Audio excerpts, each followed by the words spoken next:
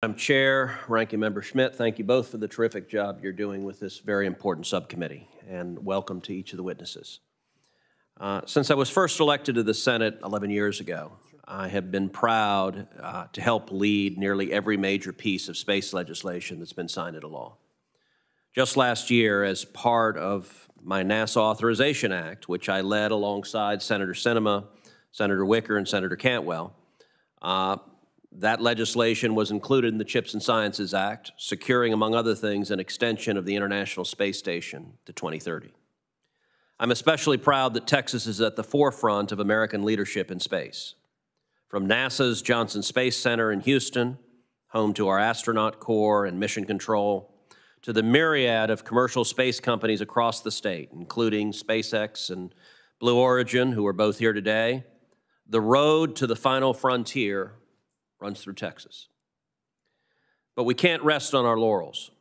As the pace of commercial space activity has picked up, our regulatory system has started to strain and is now showing serious cracks.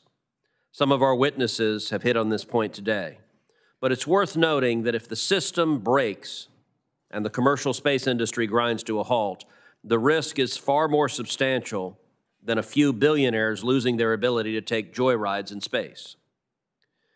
The government relies on a vibrant domestic commercial space sector for access to space, whether that is transporting our astronauts to the ISS, sending rovers to Mars, launching national security missions, or any of the other myriad space missions. On most policy issues, my philosophy is quite clear. Get government out of the way to the greatest extent possible and let the private sector roar. I believe the commercial space sector holds tremendous potential, and I've long said that I think the first trillionaire will be made in space. Previously, a domain exclusively of governments, upstart commercial companies have helped democratize space in a way that very few thought possible even a decade ago. Along the way, they have helped drive down the price point of launch, which has helped save the taxpayer money and has led to a proliferation of new technologies and plans for in space activities. But to accommodate this growth and to enable the future potential, the regulatory framework must be clearly defined, allow for innovation, and be accountable for the actions it does or does not take. As we think about regulation in commercial space, top of mind for many is the expiration of the learning period. This is understandable and an issue we need to, and I believe will address. But we need to answer the broader and more definitional questions about what the future of regulation looks like, not just for the next two years, but for the next 20. The prior administration did good work to try to update and modernize launch and reentry regulations, but there's a lot of work still to be done. Similarly, we need to address the still burdensome remote sensing regulations, and we need to cut red tape around all the various types of permitting that permeate commercial space. This hearing today is an opportunity to learn from those in industry, in the academy, and from a former policymaker about the state of commercial space and to reflect on how the current regulatory scheme is or is not working. In my opinion, too many agencies are involved. It slows technological and scientific advancements, and it puts us at, at, a disadvantage compared to our international competitors and rivals. It is long past time that we create a true one stop shop for the regulation and licensing of commercial space activities and make the United States the destination of choice for commercial space companies looking to set up shop. That all starts with regulatory certainty transparency, and accountability. Finally, I mentioned the ISS. It is imperative that the United States maintain a human presence in low Earth orbit. With ISS's mission extended until 2030, it is important to talk about what is next. Not only is LEO the tip of the spear on commercialization of space, but more fundamentally, it is a strategic domain where we cannot afford to cede our leadership, especially to Communist China.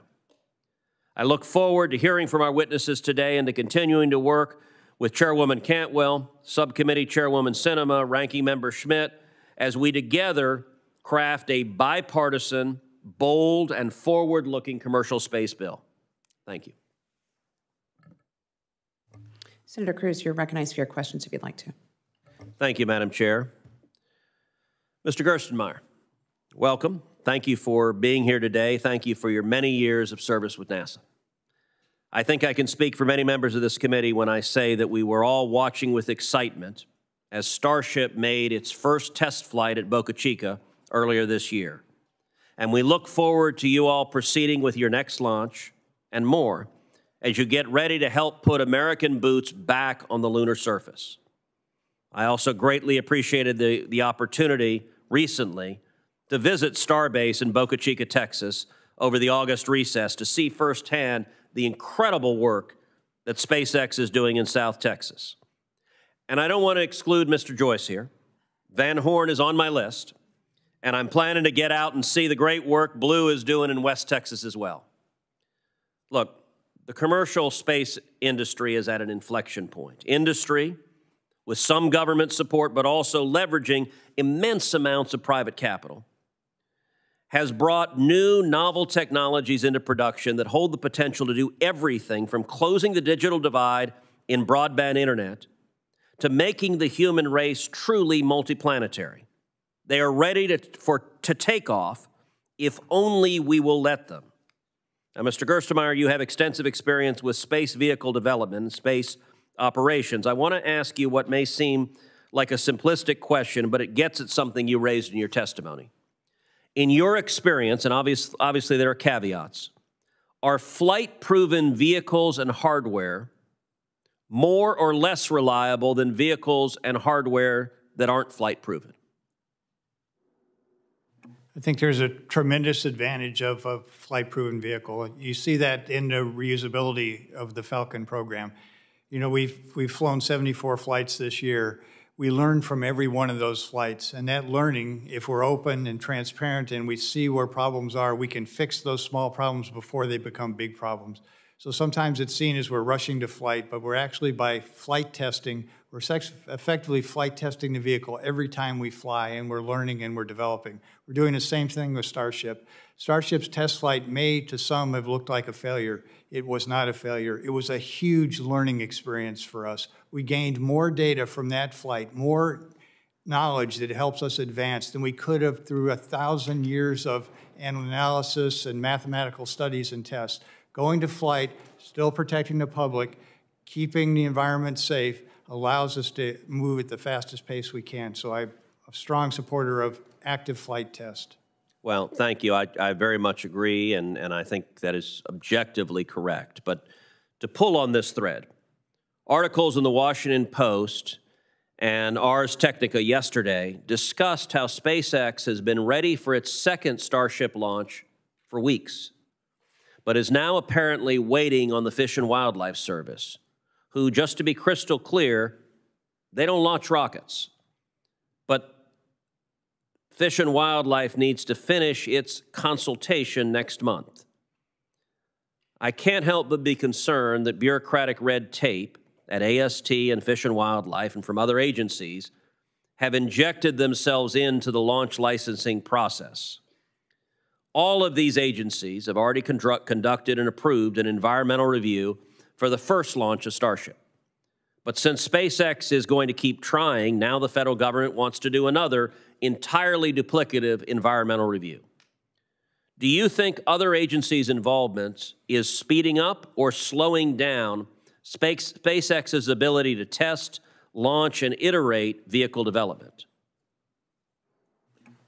As we're, it's, it's a shame when our hardware is ready to fly and we're not able to go fly because of regulations or re-review the fact that we can get the launch pad repaired and get it ready to go fly, support a flight, the fact that I can get a vehicle manufactured and ready to go fly, we have three or four other vehicles also ready to go fly. The pace of our test flight should not be governed by the regulation. We need to be safe, we need to protect the environment, we don't dismiss those, but we need to fly at the fastest pace that we can do hardware development to do this, this active development process and this test flight experience that we've described. Well, again, I agree with that At AST's current speed, what's the earliest HLS will be ready? It, it's hard to say. Uh, We've got to, you know, the, we need to fly at the fastest pace. To be fair, we also have huge technical challenges, right? This is a large spacecraft we're building. You got to see it when you went down to Boca. It's an amazing vehicle. But 33 engines, the staging, all this is new technology. We need to test that soon, learn what's wrong, fix it, and go fly again and we cannot be held up by regulation. So it's hard for me to give a specific date of where we are, but the current pace where regulation is driving, that should not be the case. The burden should be put on us as a private company, put on SpaceX, and let us develop at the fastest pace. We should be the ones that are driving the development, not being driven by regulatory oversight. Well, and having seen firsthand what you're doing in South Texas, it is extraordinary and very, very impressive. My final question, if you were still at NASA, would this delay be acceptable? Would schedule delays like this be something that makes a NASA program successful? Simply would not be acceptable. Thank you. Thank you,